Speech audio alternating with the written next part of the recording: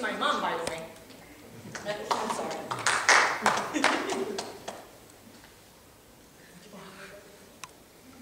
A smile. Going once. Going twice. What's the guy in the tomorrow's newspaper?